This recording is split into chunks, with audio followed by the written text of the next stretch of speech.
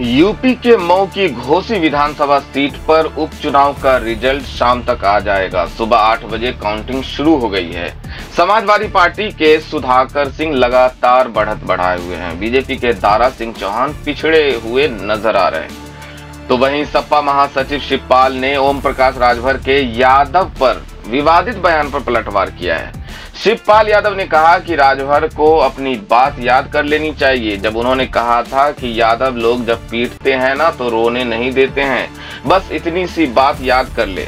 दरअसल शिवपाल यादव ने ये बातें मैनपुरी में पत्रकारों से कही। इससे पहले शिवपाल सिंह यादव ने ओम प्रकाश राजभर पर निशाना साधते हुए कहा कि उनके जैसे नेता चुनाव जीतकर दलाली करते हैं।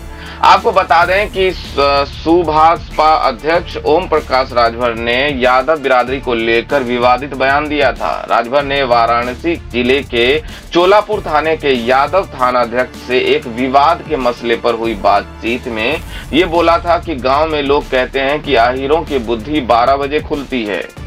इस मसले पर सुभाषपा के राष्ट्रीय मुख्य प्रवक्ता अरुण राजभर ने ट्वीट किया था कि अहीर बिरादरी को लेकर ओम ओम प्रकाश राजभर के बयान को तोड़ मरोड़ कर पेश किया जा रहा है।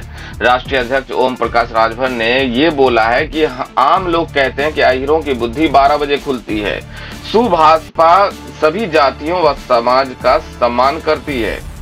तो वहीं संजय निषाद के पाकिस्तान वाले विवादित बयान पर सपा नेता शिवपाल सिंह ने नाराज़गी जताते हुए पलटवार किया।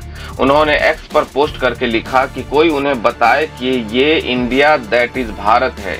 जहाँ हर भारतीय भारत माता की संतान है और एक सम्मानित नागरिक है। भारत में पाकिस्तान खोजने वाले इस देश की संप्रभुता को चुनौती दे रहे हैं।